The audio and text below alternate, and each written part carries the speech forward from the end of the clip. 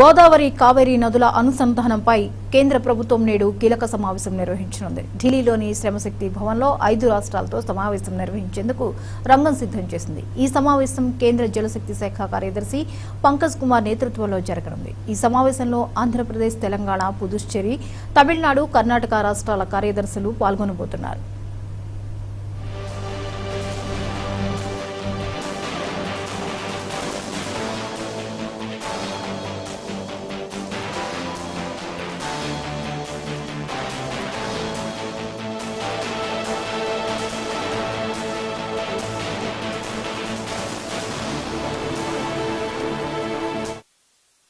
గోదావరి కావేరీ నదుల అనుసంధానంపై కేంద్ర ప్రభుత్వం నేడు కీలక సమావేశం నిర్వహించనుంది. ఢిల్లీలోని శ్రమశక్తి భవన్లో ఐదు రాష్ట్రాలతో సమావేశం నిర్వహించేందుకు రంగం సిద్ధం చేసింది.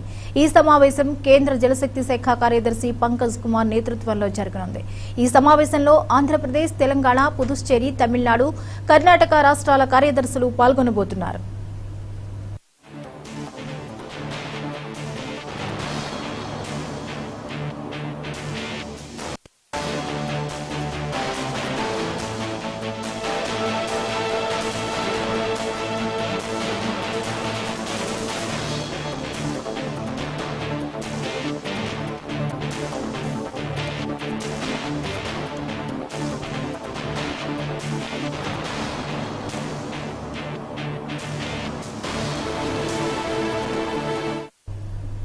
ఇక ఈ అంశంపై మరిన్ని వివరాలని ప్రిన్సిపల్ కరెస్పాండెంట్ రానా అందిస్తారు.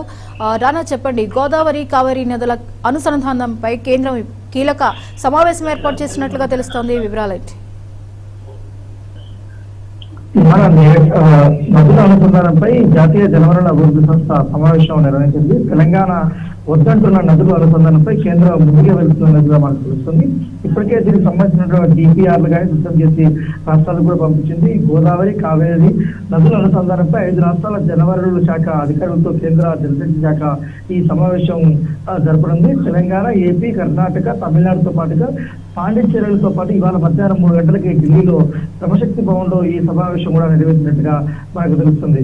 కేంద్ర జలశక్తి శాఖ కార్యదర్శి పంకజ్ కుమార్ నేతృత్వంలో ఆంధ్రప్రదేశ్ తెలంగాణ తమిళనాడు పుదుచ్చేరు కర్ణాటక రాష్ట్రాల జలవనరుల శాఖ కార్యదర్శితో కీలక సమావేశం ఇవాళ జరగనుంది. ఐదు రాష్ట్రాల అభిప్రాయాలు ఆలోచన ఆలోచనలు కేంద్రం ఇవాళ తీసుకునుంది.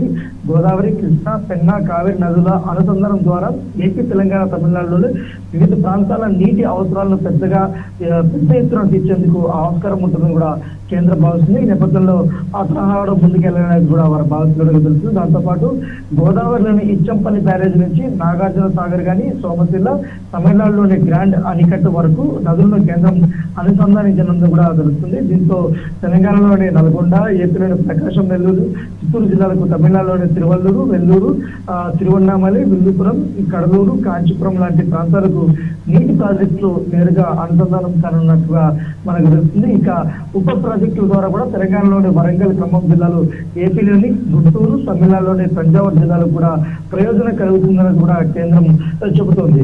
అయితే నదుల అనుసంధానానికి తొలిపెట్టుకున్న ఎనభై ఐదు వేల కోట్ల రూపాయల మేర నిధులు అవసరం అవుతారని కూడా కేంద్ర జలశక్తి జలశక్తి శాఖ అంచనా కూడా వేస్తున్నట్టుగా తెలుస్తుంది. దాంతోపాటు ఈ జాతీయ జల అభివృద్ధి సంస్థ సుమారు ఎనభై వేల కోట్ల రూపాయల వ్యయ అంచనాలతో డీటెయిల్డ్ ప్రాజెక్ట్ రిపోర్ట్ కూడా ఇప్పటికే రూపొందించినట్టుగా తెలుస్తుంది.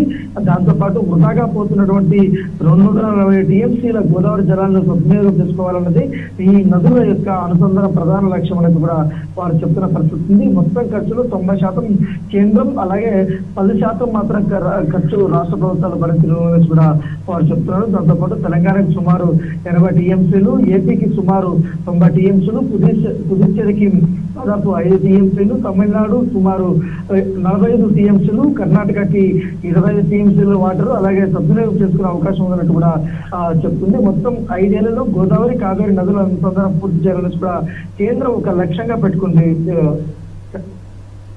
Right thank you Rana